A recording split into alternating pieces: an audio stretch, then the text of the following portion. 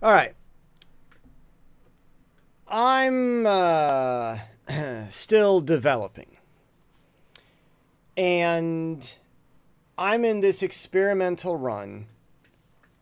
And I'm getting this YouTube channel serious since I hit 100 subscribers. And I think now we're about 118 or something like that.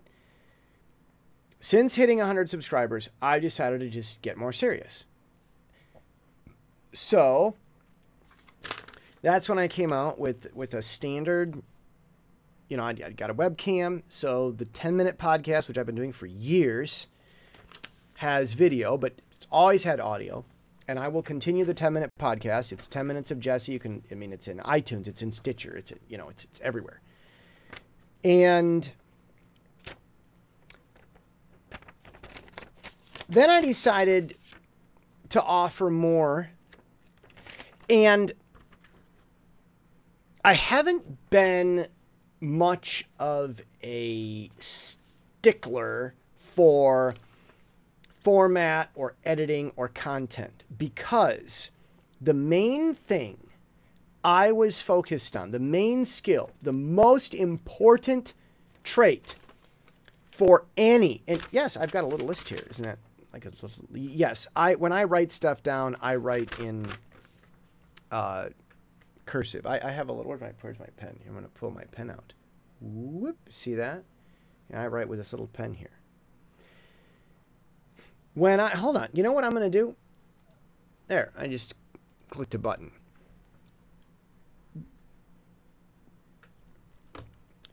The most important thing about doing a podcast or doing a show or something is to do it.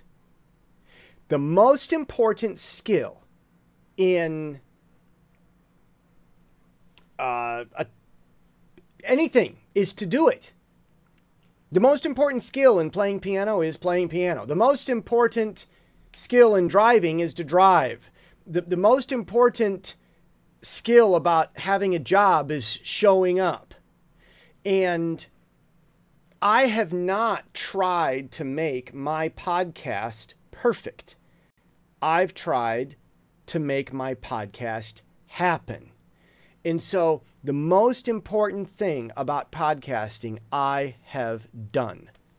I do it. So, I get on the microphone, I record, I send it through the, the compressor and editor, you know, for audio stuff, and I upload it, and it's the same, and it's every week, and it's on Monday. Now, um, I mean, today I messed up in my podcast for the first time. I went four seconds over my time. Um, I've never done that, ever. I went four seconds over. Maybe I got too um, too hung up on what I wanted to say in the podcast today. Because I'll tell you, today in, in, the, in the podcast, I was talking about how irritating it is to talk to people who just don't care. And frankly, I'm thinking about spending less time with, with people who suffer from affluenza when someone suffers from affluenza, I really I think those people are dangerous. Jesus talked about throwing your pearls before pigs. Throwing your pearls at pigs. Pigs don't appreciate pearls, and when you throw something at them, they'll get mad and attack you. So I think when someone's got affluenza, when they've got their life too good, I, I think they're pigs. And, and I don't want to give them my pearls. So I'm thinking about I'm really geeked about this. And when I podcast about something, it's something I'm passionate about. And so when you see me, you're going to see the real me. Okay. All right. Well, all this comes at a very interesting time. Uh, you know, things are developing. Just, I'm sharing my inside baseball life with you. That's what the Jesse Uncut's about. And whoa, look at that. It's like getting ink all over the inside. That's weird stuff.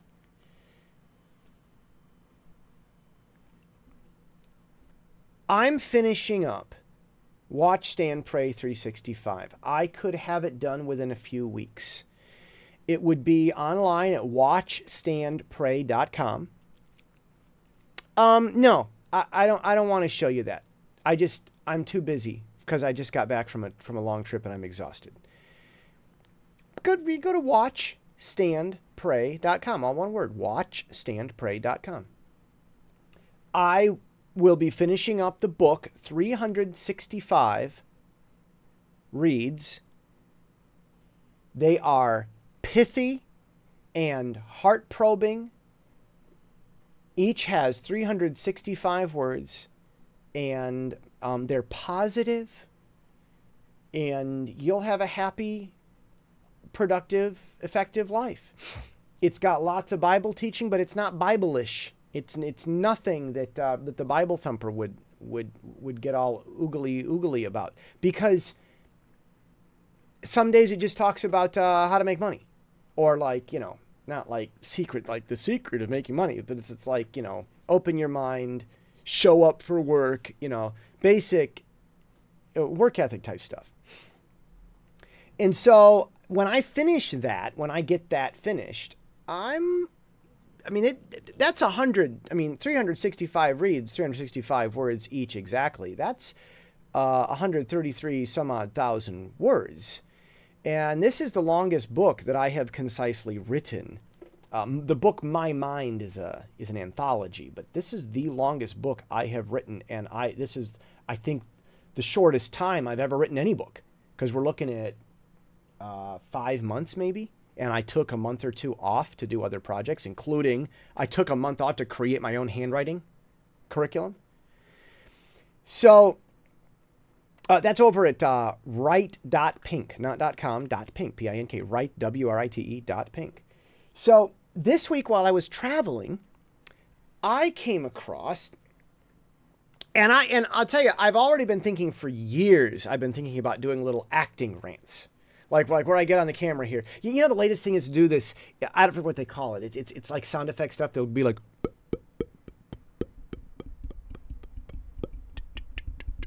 Yeah, and they do like these sound effects, and it's like you know.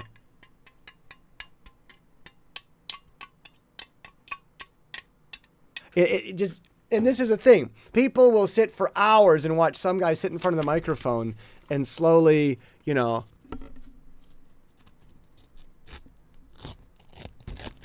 You know, this is the thing. So I'm thinking about throwing up visual acting pieces for people to be able to take the sound effects and just like I'm just I mean I've got an actor ability. I've, I've never uh, I have not explored my acting ability since I left high school. I'm thinking about you know just doing acting nonsense and contributing it because there's no visual part. I've been thinking about that. You saw it here on this podcast first. So, well, the the Jesse Uncut, it's it's only available uh, via video, on of course on multiple outlets. Of course, of course, I don't do anything on one uh, social media thing. That's a, that's a rule that I have. So, I'm thinking about what I'm going to do next, and while I'm traveling this past week, I come across uh, what, jumpcut.com. J U M P C U T. Jumpcut.com. Jumpcut.com. And I wasn't looking for it. It jumped out to me as a YouTube ad, and I liked it. I said, I, I like this guy. I got this guy talking about how to YouTube, and he looks like M. Night Shyamalan, which, you know, which means what it means, but I, just, anyhow, just I, just like this is this is nifty. I, I was just fascinated with this, with what the guy was saying. A genius, genius guy here. So if you if you see the guy who looks like M Night Shyamalan uh, talking about uh, how to do YouTube videos, listen to him. I like him. I think that's the JumpCut.com guy. So I I I'm you know getting a knack for this, and I'm thinking I, I've got some ideas. I might go after some things. I could talk about life in Asia, but I'm doing that at, from AsiaWithLove.net. Uh, there's a need for theology. I've been thinking about teaching theology courses when I finish Watch Stand Pray, and uh, also life coaching. Um, I don't know everything, but important life decisions are important. I'll tell you, uh, I got a buddy here in Asia, and he's got a dream to get a a, a company of his own off the ground consulting, and you know Asian families live with each other at least three generations under one roof, maybe four for a time, and uh, he he just helped his in laws move 25 minutes away from where everybody works to to get a great big huge honking house out in the middle of nowhere. And he wonders why I don't go visit him. And he doesn't have time to visit me because he's too tired from working. I'm like, he's not too tired from working, he's too tired from traveling. Now, you know, I mean, I, I wish my buddy the best, and I don't think our relationship's anywhere near over. Uh, but I don't know that he thought about that. He's he's trying to get a company off the ground, but he's already gone off and bought his dream castle. And buying your dream castle before you build the money that's going to make your dream castle, that the job that he's got now might be the best job that he ever has. And that might be the best income he ever has because he just gave himself a one hour commute every day when when his commute used to be 10 minutes. So I you know just thinking about stuff like that. That, that that's you know life coaching has to do with just think things through, you know, like that. So I'm thinking about doing stuff like this. Um and you know when it when it comes with when it when it comes down to to strategies I've just been thinking about this, mulling this all over my mind. You know, webcam for the first time, you know, podcasting for the first time, finishing a book, getting on how am I going to do formatting. Now I find this this awesome YouTube thing. Really, really explains stuff well. Jumpcut.com. Really, really, really love it. And I'm all this is going through my mind, and I'm thinking, why in the world am I doing Patreon? Why? Patreon is for people asking for handouts. To me, my opinion, okay, I don't want to insult the Patreon people. Patreon is for people that don't know how to make money. Patreon is for people that don't know how to run a business. They do good, awesome things, and they don't, for the say the life of them, they can't market, they can't get jobs. So they go to Patreon, and and people like what these marketing inept people do, and I, I'm, I'm saying this kind of negatively more than is deserved. It's not this bad. I'm kind of being a little bit extra cynical, but but that's what Patreon kind of is. And I'm not like that at all. I don't I don't ask people for donations. I'm not the itinerant speaker who goes into a church and and and has an, an offering uh, where people donate money to my kids' college fund. You know, I I and and to, so I can make my nice car payments and to pay for my airplane tickets as I travel. I not I don't I don't know how to ask people to just up and give me money. And I'm just much more interested in, in a business type of thing where I run a business and I'll come talk at, at, at a church or school or wh- whatever in the in the city park. I don't care, and don't get money for it, and don't care. I I much rather do something like that. So, I'm I'm I'm seriously. T- t- oh, oh.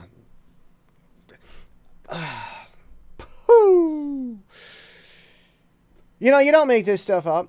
Remember, everything in these podcasts you can take and cut and clip and put it into whatever you you can tweet. You can take me sneezing right there, and and I love Donald Trump, but you can take me sneezing right there and uh, superimpose it uh, on a Donald Trump speech and make fun of Donald Trump with it if you want. I don't care. You can take my stuff and use it. My content is free. Mm. Why am I doing Patreon? Why am I doing Patreon? I, I, why? Why am I doing Patreon? I don't know. Maybe, maybe I there's something I can do uh, that's good on Patreon. I just I just don't know right now. Maybe uh, maybe Patreon is a good way to let people become a member of a club. I'm, I tell you one thing that I'm, I'm serious about doing is uh, letting Patreon you know members get get discounts, part of the Jesse Club access to products. So I'm thinking about keeping Patreon. Patreon's not bad. Patreon's not bad. But I just asked myself, I mean, you know, that's this is this is important in any decision making. Always take an open mind and ask yourself why in heaven and earth and under the earth should I do what I need to do? Why in the world should I do that? I mean, it's what you need to do. But you should ask yourself, why in the world you're doing that? Because a lot of people do what they need to do, but they don't know why in the world they're doing it. Because some things they get wrong, or a salesman comes along and fools them and messes their whole life up. Because I didn't think about what they're doing. Why in the world are you doing that? So I've asked myself, why in the world am I doing Patreon? I think I'm going to keep Patreon. I, I don't have a problem with Patreon. Um, but I am asking myself why in the world I'm doing it. Have to be honest. Got to be honest. Uh, no, no, no, no, no, no, no, no. I know what projects I'm going to do next. My Linux curriculum's all done. Uh, the, the, the Shell 101, the Guru, Ink Verb Guru. It's on GitHub. Uh, very simple Linux curriculum. Teach yourself Linux. I'm going to make videos with that as soon as I'm done with Watch Stand Pray 365. As soon as the 365 book is available in print on demand, I am going to do those videos. And I'd love to do it in two weeks. We'll see. We'll see if I can get. We'll see if I can get it. I would love to do it. But I want to talk about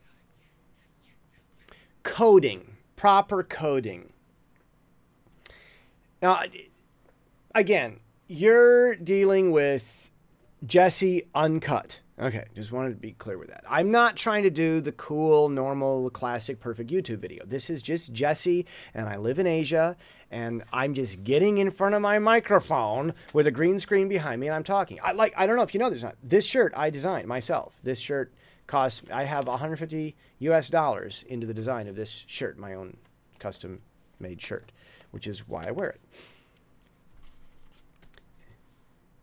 WordPress. WordPress. WordPress.org. It's WordPress isn't just the WordPress.com thing. WordPress.org. I love it. I use it. I as a developer, I love working with WordPress because they're always there.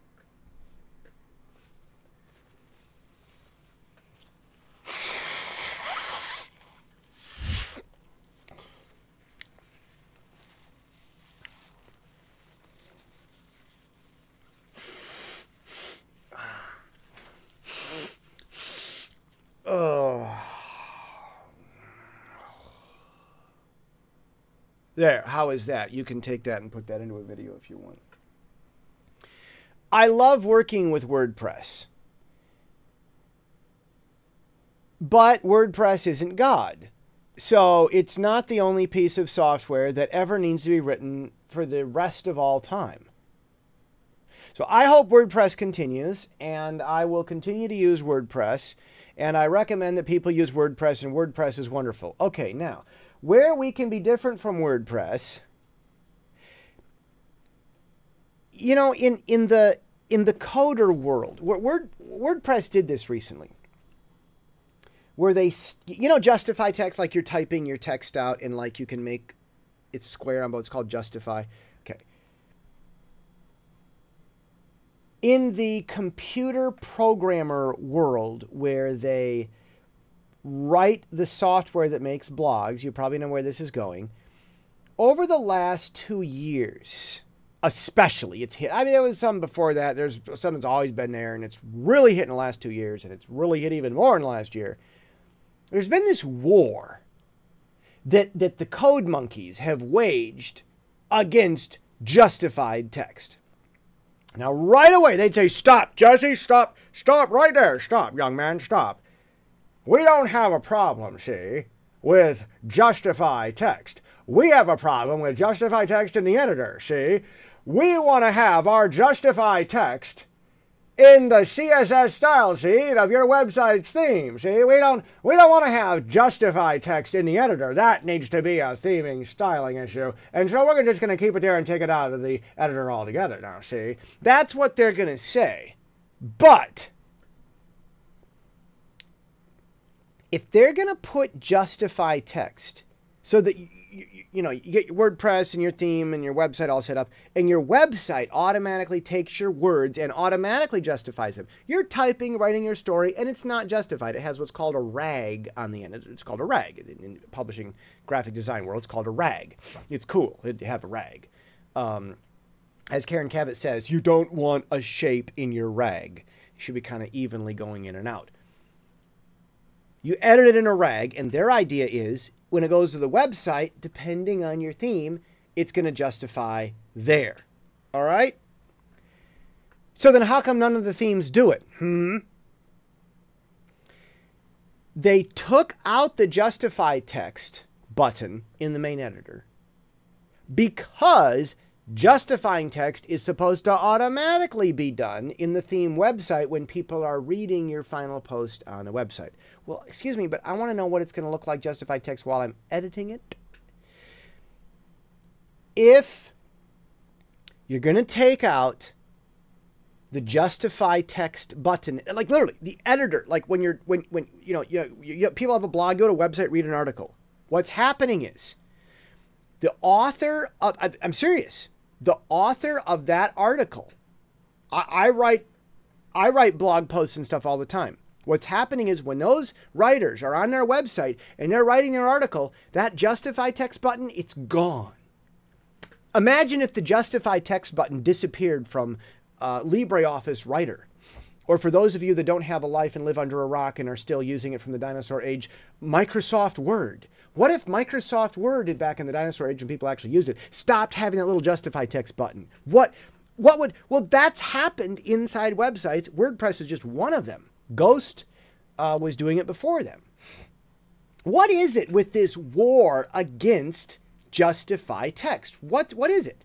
Well, now see, son, it's not a war against justify text. It's it's just we don't want to have that, see, in the editor now, see. That's we, we don't want it in the editor. That's that's a theming option. We're supposed to have that in the CSS theming style options now, see then where is it? If you're going to remove the button permanently so that nobody anywhere, ever, anywhere, ever, ever, anywhere is ever allowed to use the justify text button inside your editing process, then they should always, always, forever, always, and ever, always have justify text as a permanent, always permanent part of the justify uh, text of the theme the CSS styling on the main front part of the website, but it's not. They've got one thing permanent, but another thing not permanent. And what this comes down to is the guys that write more PHP code for the web websites and writing the code to make the internet work, the guys that create more PHP and JavaScript code,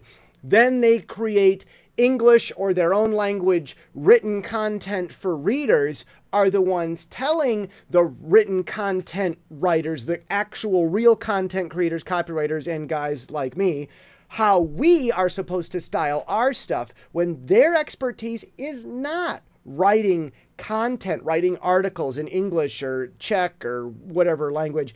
They're they're telling us how our content is supposed to be formatted when writing content isn't their job. They write the software that we content creators use. So this is what's happening in the internet. You use a website, something doesn't make sense. What's happening is the code monkeys, the guys, the awesome, brilliant, wonderful people who write the code to make the software are deciding what the software should be used like, how what what features it should have, how it should function. And the, the general problem with that is they're not the main guys using this as their uh, forte, so to speak. They're writing the back end. But think about it who should really design your house?